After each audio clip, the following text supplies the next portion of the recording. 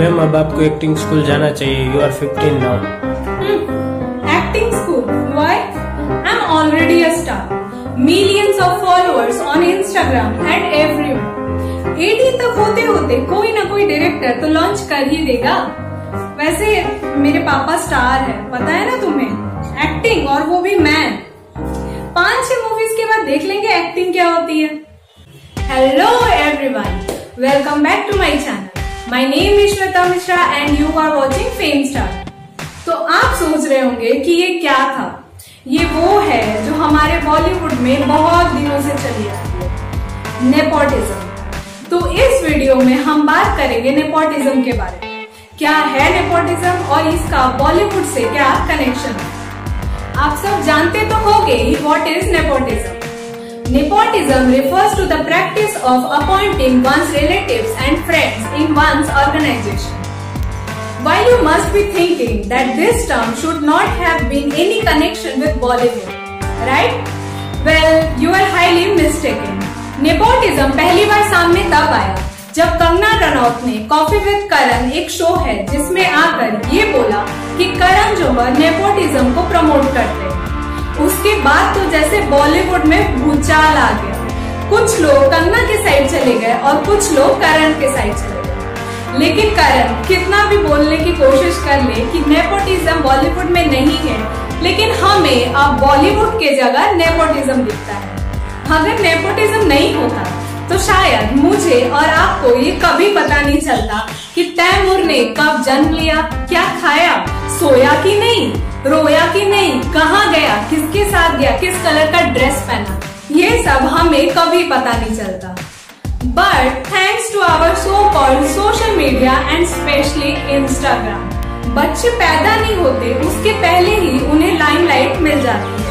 Late me tell you उनके caption कैसे होते हैं। सुहाना खान का एक फ़ोटो डालेंगे और नीचे लिखेंगे do you think Suhana Khan is ready for Bollywood और उसके बाद आर्यन खान का एक फ़ोटो होगा और वो बोलेंगे do you think he is going to make back like his father social media के कैप्शन के स्टार्टिंग डू यू थिंक और क्वेश्चन मार्क साइन से होता है। मुझे तो ये नहीं समझ आता कि वो लोग हमें बता रहे हैं या हमसे पूछ रहे हैं। या वो बताएँ या हमसे पूछे। सर उससे कोई फ़र्क नहीं पड़ने वाला, क्योंकि एक्टिंग हमारे बोलने या आपके दिखलाने से नहीं आती। उन्हें प्रमोट करने से अच्छा है कि आप पहले उनसे जाके ये बोले कि एक्टिंग सीख क्या। वरना फिर आएँगे और यहाँ पे आके कचड़ा करेंगे। कुछ लोग ऐसे भी हैं जो मुझे लगता है कि अगर नेपोटिज्म नहीं होता तो वो लोग भी शायद आज इंडस्ट्री में नहीं होते।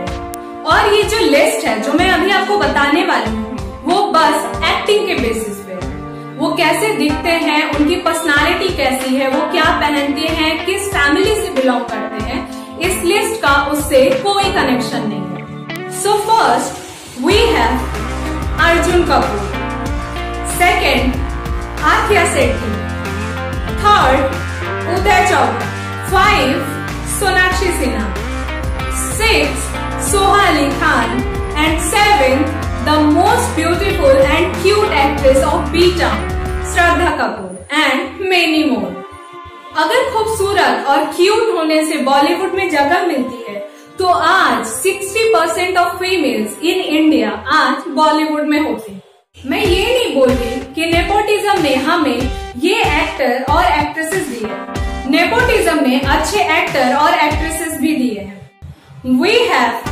Ranveer Kapoor on top of this list क्योंकि वो एक्टिंग में सबको पीछे छोड़ चुके हैं। He is just super in his way we have Alia Bhatt on our list ये भी नेपोटिज्म की वजह से ही आज बॉलीवुड लेकिन उनकी एक्टिंग स्किल ने उनकी एक अलग ही पहचान बना दी लिस्ट ऑफ़ एक्टर और actresses who are not fruits of nepotism are tremendous in their work we have Priyanka Chopra on top Akshay Kumar Nawazuddin Siddiqui Rajkummar Rao and many more Salman Khan ने सूरज पंचोली और आथिया सेट्टी को एक बड़े banner के नीचे launch किया। लेकिन after that they are खुश।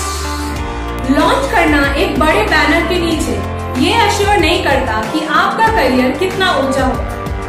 करियर ऊँचा होने के लिए आपको एक्टिंग की भी ज़रूरत पड़ती है बॉलीवुड जानवी कपूर, जिनकी अभी तक कोई भी मूवी रिलीज़ नहीं हुई। रिलीज़ हो रही है। लेकिन पहले उनकी एक्टिंग तो देखो, फिर उनके फ़ैन बनना। लेकिन नहीं, अभी ही उनके सोशल मीडिया जैसे कि इंस्टाग्राम पे 1.3 मिलियन फॉलोअर्स है। I don't know for what अगर तैमूर का एक अकाउंट खोला जाए तो मैं आपको बेट लगा के बोल सकती हूँ कि एक घंटे में उसके फॉलोअर्स मिलियन होने वाले हैं। I thank directors like Subhash भाई and Mahesh who always brought up a new face to the Bollywood and they are not fruits of nepotism. So here we come to an end of our discussion. Hope you liked this video. If you did, hit the like button. Subscribe to my channel and change that red button into grey. Share this video with all your social media friends and your relatives too.